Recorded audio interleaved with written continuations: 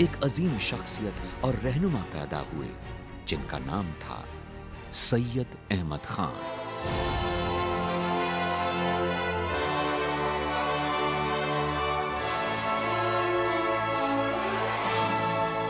बिजनौर में सैयद अहमद के जेरी निगरानी उनको अपना जामिन बनाकर दिल्ली की ओर कूच कर गए। सैयद अहमद ने अपनी जान पर खेलकर उनकी हिफाजत की। लेकिन जल्दी ही उन्हें इस बात का इल्म हुआ कि खुद उनके खानदान के लोगों को दिल्ली में या तो मार दिया गया या फिर वो लापता हैं।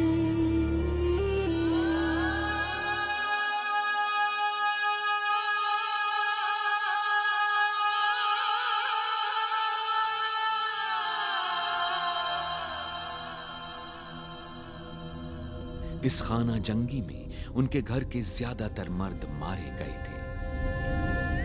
और उनके बीवी बच्चे किसी तरह जान बचाकर मेरठ भागने में कामयाब हो गए थे। माँ और खाला अस्तबल में नीम बेहोशी की हालत में पाई गई।